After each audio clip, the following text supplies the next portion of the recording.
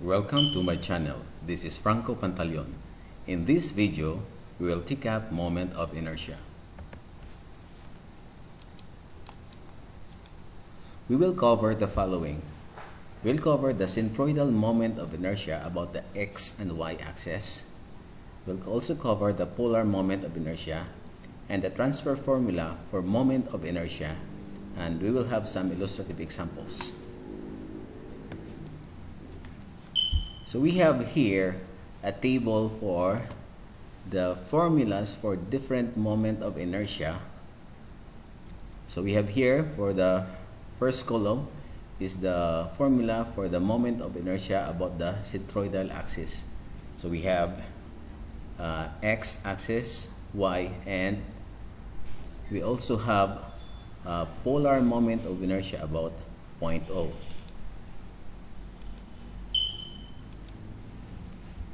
So, if we wanted to determine the moment of inertia about the x-axis, we simply have this formula.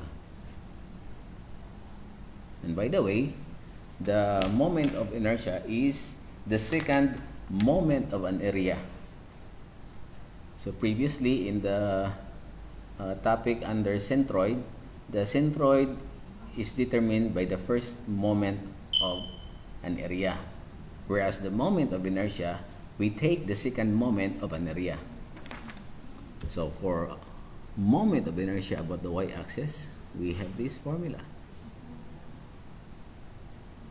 And for the polar moment of inertia, we have this.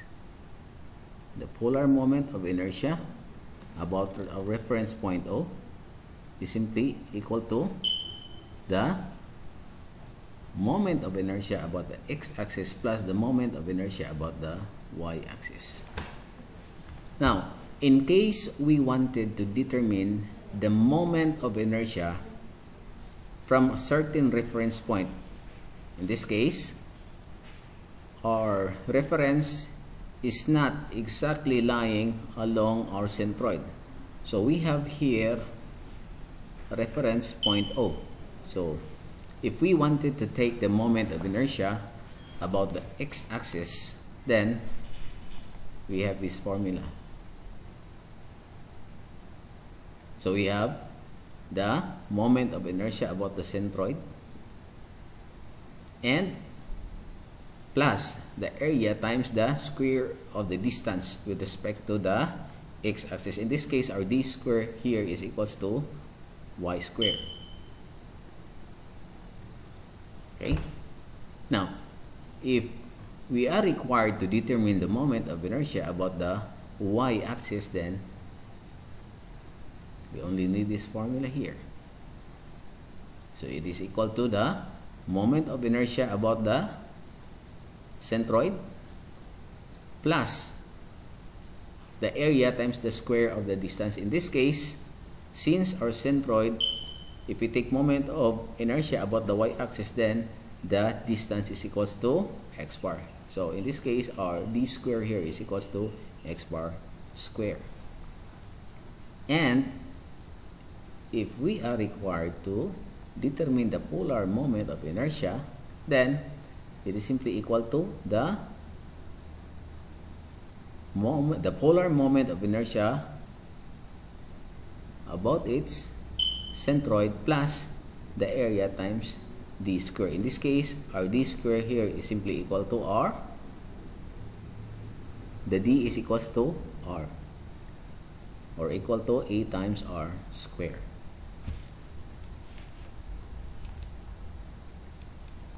Okay, so let us now have an illustrative example.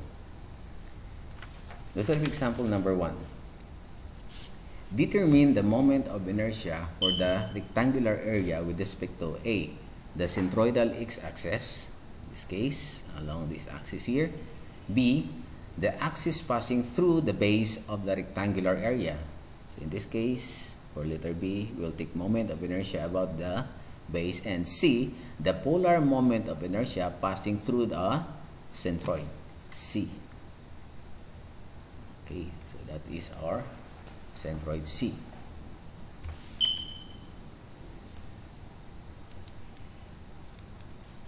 So for letter A,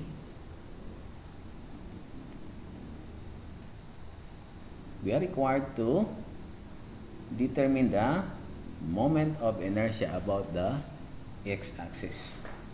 So Ix is equal to equal to the integral of y squared dA. Now, looking at the figure, our dA differential area is simply equal to B times dy. So, this equation becomes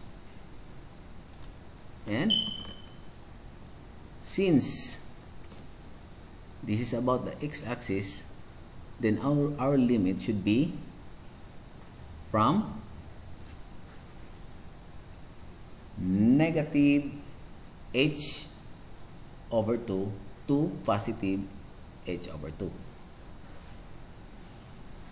So we have here the integral of the limits are negative h over 2 to positive h over 2. We have y squared times r area which is equals to b dy. So this becomes since b is constant we can take out b and we have b times integral of negative h over 2 limits to positive h over 2 we have y squared dy and which simplifies to b h cubed over 12 this is our answer for letter A. And for letter B about the base. So we are required to determine the moment of inertia about our base. We have our Ix.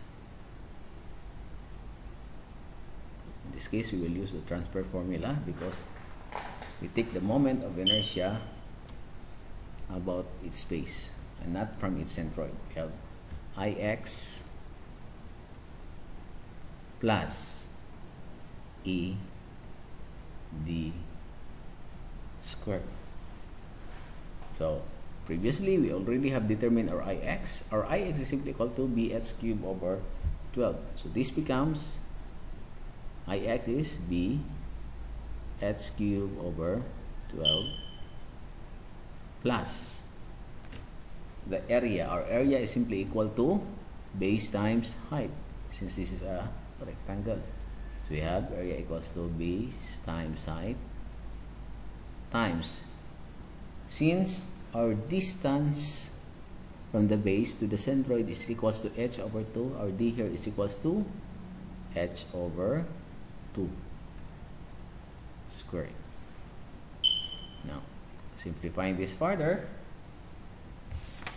we have one third v h cubed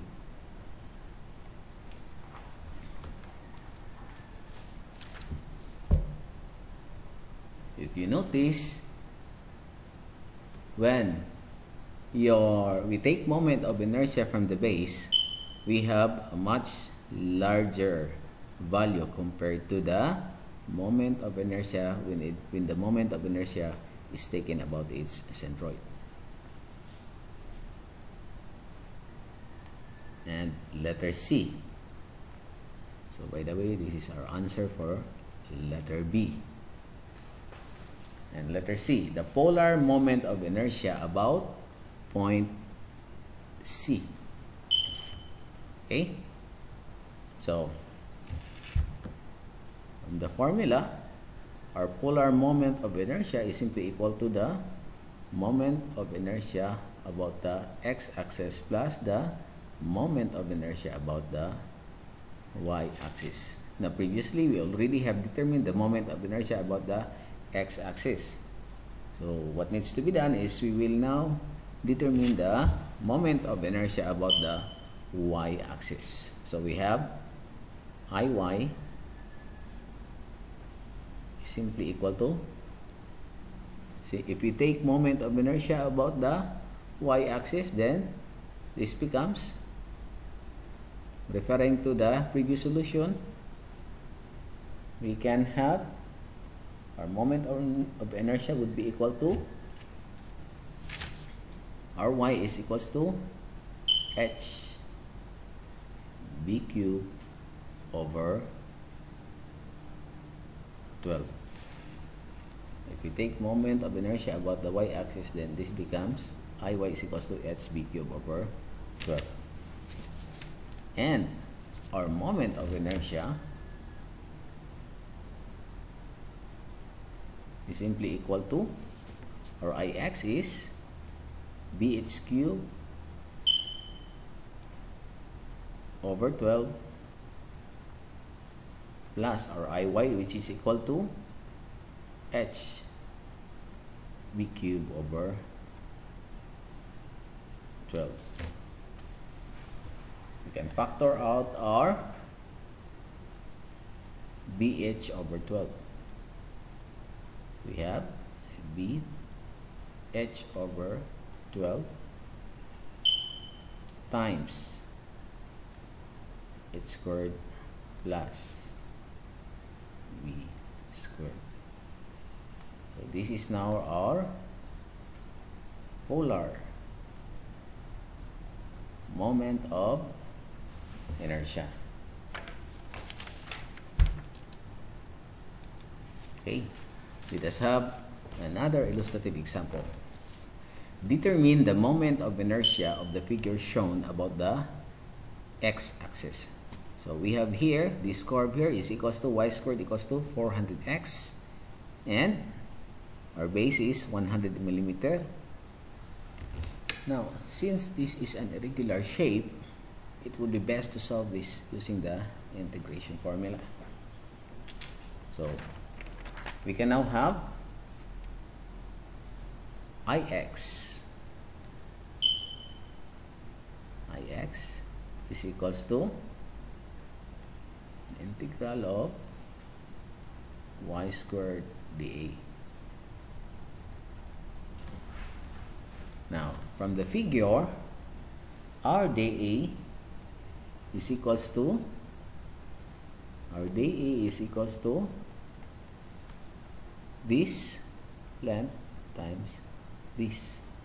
So this equals to 100x 100 minus x rather times your dy. Take note that we have this equation. So we can determine our x. So from this, we can have our x is equals to y squared over 400. So we can now have our dA is equals to 100 minus y squared over 400 times our dy. So this is now our dA. So we will substitute this in our equation. So Ix, and by the way, the limits are from forgot okay by the way it is only up to 200 200 millimeter. Okay. So our limit should be from 0 to 200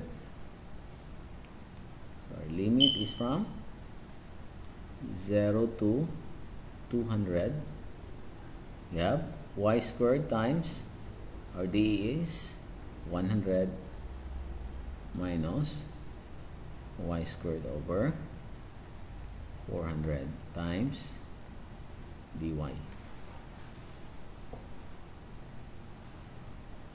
So, simplifying this further, integrating this, we'll have 100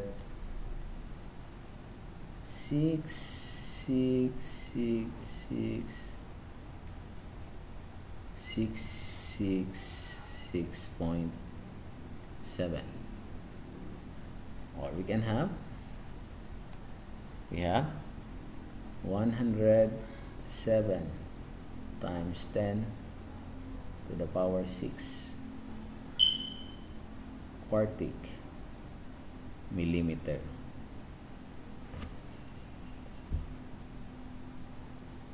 so this is now our moment of inertia with respect to the x-axis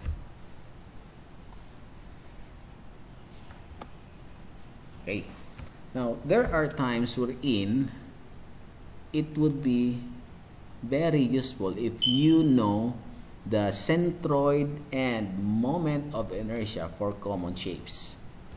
So I suggest you memorize formulas for the centroids and moment of inertia for common shapes. Now, of course, there are a lot of shapes and this is just for presentation purposes only.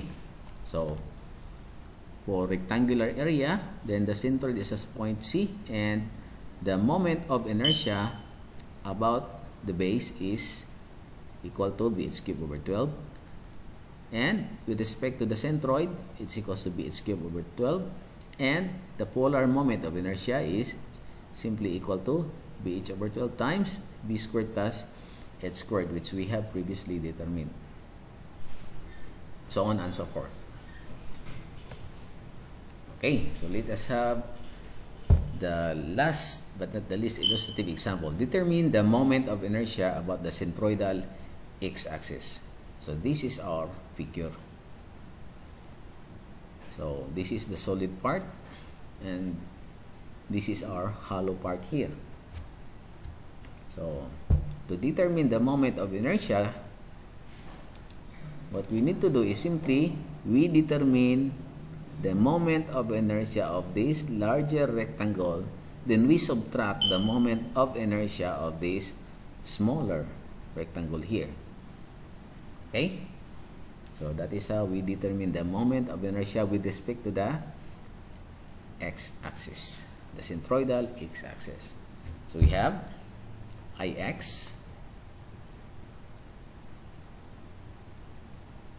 simply equal to we have here base 1 b base 1 which is base 1 for the first figure each one of the first figure the larger rectangle b its cube over 12 minus r b2 h2 cube over 12 which is your smaller rectangle such that will have an effective moment of inertia equivalent to the actual figure. So we have our Ix is equal to, we have our base is equals to 4, 4 inches times. The height is, the total height is 6 inches which is, we have 4, 6 to the cube over 12 minus.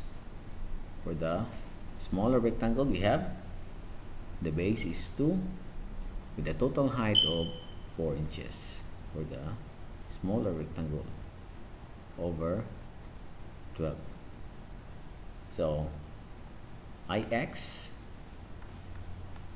is equal to 28 over 3 or this equals to 9.3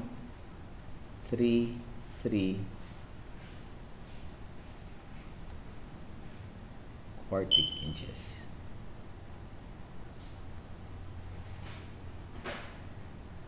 So this is our answer. If you like the content of this video, click like, subscribe, and please share. Thank you.